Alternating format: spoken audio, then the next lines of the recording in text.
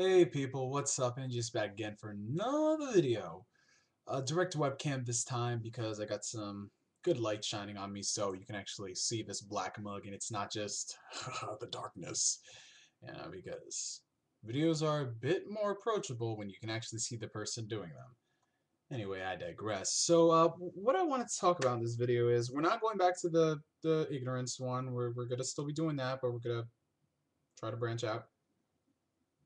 Anyway, um, what I want to talk about today is a topic that I really haven't given uh, much thought on. I've been talking uh, uh, a lot about ignorance, so let's switch. let's go back to gaming. Uh, I want to talk about motion controls. You know what really started this? Uh, started you know me generating talk about this. Uh, I, I, was chilling at my college a couple weeks ago, right? You know, it was Friday afternoon. I didn't have anything to do, so I was like, you know, let me go hang out in the entertainment round lounge. I was about to say round. I don't know. Uh, you know, in that room, it, has got everything. We have TVs, we have foosball, and all that stuff. And of course, this generation being gaming, extensively gaming, uh, you know, people have their PS3s, their moves, and their Wii's. And, you know, we were playing the Wii, and, you know, we were taking turns playing uh, Skyward Sword, Mario Kart, uh, you know, Red Steel, all that stuff. Good games on the Wii. Um, we, we all started getting into a, a sort of a roundtable discussion without even thinking about it on motion controls this generation and we got people chiming in out of nowhere, people who were gamers, people you wouldn't think were gamers, just talking about it because everybody had a lot to say on this topic. Um, so you know, I went home and actually said, you know what, I should probably do a video giving my updated thoughts since it's been a while. The last time I recorded a video on it, so we're gonna be talking about motion controls. This video in particular, we're gonna be focusing on the PlayStation Move, Sony. So, as you guys are aware, I purchased the PlayStation Move on launch. I did a first impressions slash unboxing of it. You can check out the first impressions down here below, and annotation will be right there for your viewing pleasure. If you don't want to check it out, if you are one of the lazy individuals, then I can sum it up like this.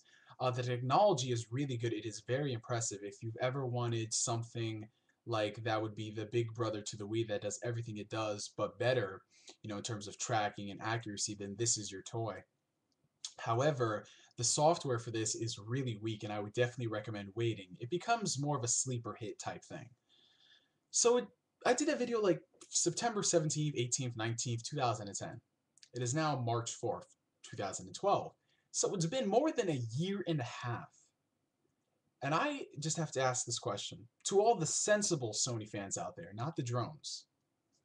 What games are you playing with the PlayStation Move? What games? Because I bought this fully expecting to see a great lineup of games. You know, because Sony has been touting this as, you know, the definitive motion controller. Uh, we're going to have a huge lineup for games. And yet a year and a half later, no real core titles.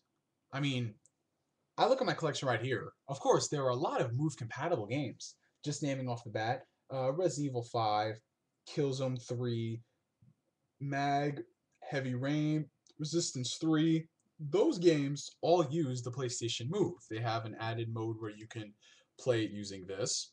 And, you know, I've tried them out on all of them. And I have to say the one that works most uniquely would have to be Resident Evil 5 and Heavy Rain. Resident Evil 5's move was a real throwback to the Resident Evil 4 and Wii, and Heavy Rain was just phenomenal with the move. But that's pretty much it. You know, not to say that Resistance or Killzone's controls were bad in any way, they're actually quite good. But that doesn't answer my question. Where are the core games for the move? The games that I would recommend somebody buy a move for? Because this just looks like an accessory that if you wanted to get a different style of play, you would pick up. It doesn't seem like something to be taken seriously, you know, where you want to get your money out of it. I look over at the Wii side, and I see the games they're playing, like Mario, Zelda, Red Steel, Tatsunoko vs. Capcom you know, great games on the Wii like Okami. I look over at the Kinect, and while they don't have an impressive library either, I know people are playing stuff like Dance Central, The Gunstringer, you know, a, a bunch of other Kinect games that I'm not going to mention. But what are people playing on the PlayStation Move? Really, because I don't know. Sports Champion? Medieval Moves? What exactly? Where, where are the core games? Now, does this have does this have any possibility to do with the timing of the move's release? Because as you guys know, Sony has been hard at work on this sort of technology for a long time.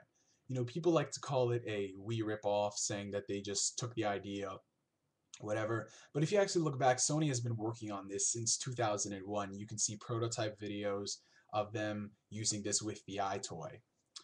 That was back in 2001. So the EyeToy releases, it doesn't really perform to Sony's expectations. They thought it'd be this huge craze, but I really chalk that up to bad marketing and not enough quality titles. So the EyeToy doesn't perform as well. So I think Sony might have become hesitant on releasing this. You know, it might have the same effect as the EyeToy. So they put this on the back burner. Nintendo comes out with the Wii. Sony doesn't release it because they're like, oh, motion controls, eh, it's gonna fail. If it didn't work with us, it's not gonna work for Nintendo. Well, Nintendo pretty much proved the entire industry wrong, and they came out. It was a huge success. So many gamers got to love it. And so then Sony's like, hey, we have that same kind of technology. Maybe our gamers will love it too. Four years later, the PlayStation Move comes out. I don't think it's really performing to the way Sony chalked it up. You know, I mean, the Kinect, the Kinect, I, I don't know, maybe Microsoft was the better of the two in this situation. They saw the powerhouse of the Wii. They didn't just want to replicate um, doing the same because Microsoft could have came out with a motion controller if they wanted to. Like, just say, oh yeah, we're just going to put this there. No, but they saw that the EyeToy was something popular last gen and they released it and it was a critical success. You guys know that Kinect and all that marketing because of Justin Bieber and Oprah, but it was still a success. Whereas Sony, they're like, oh yeah, let's just do what Nintendo did. Well, you know, let's just they did better, so let's release ours. And I have no problem with that because it's it's good technology. Nothing nowadays is original. Let's be honest, especially in the world of technology. I mean, the iPhone type um, of the apps, how it's like all that. You know, you put your finger across. I mean, every single phone nowadays has it. It's become so synonymous. So the fact that everyone's saying that it's a ripoff when it, first off it's really not, and second it doesn't matter. But you know what? At the end of the day, it doesn't matter if this is a ripoff. If there's no quality software on this, what the hell is the point of owning it? I, I don't know what games are coming out for the PlayStation Move, and I'm talking about core games that were made with this in mind, not ports from other systems, not compatibility. And this is the funny thing, I find this hilarious. You have these same people these PS3 drones who would attack the Wii saying it has no good games whatsoever. Yeah, when House of the Dead Overkill, No More Heroes, and Dead Space Extraction came over to the PS3 with the move, they're freaking praising it, saying, yeah, we got some more games, this is awesome, this is great. But you were just bashing on the Wii because you said it had no games. Logic does not exist with drones to begin with, so why am I even bringing that up? Damn. Anyway, I have to wonder, what is gonna what what what, is Sony gonna do with this? Because there's there's no games. The core consumer has already shoved this off. They're like me. They're like, well, there's no games, so why should I support this? The casual gamer already has a Wii and has a great library, so why should they support this? Who is this made for? Is this made only for the drones? Because I only see the drones talking it up and saying that it's good and buying those games. I don't know, is the move made specifically towards compatible games and not its own brand in its library of games? What do you guys think about this? Because I, for one, am pretty disappointed in this purchase. I mean, it's great technology, don't get me wrong, but if you don't have the great software, you've got shit. You really do. Really disappointing, you know. Could have been so much. But no. The only game that I'm even remotely interested in would be Sorcery, and Sorcery, it only recently resurfaced. Like, we didn't know where that game was for like a year and a half, and now they said that, oh, it's still in development. So if that game come, if that game comes out and it is indeed the killer app, it should have been out by 2011. I don't know. Maybe I'll give this one a, a whirl because you know this is this has become a paperweight, a dildo looking like paperweight. Hmm. I don't know, guys.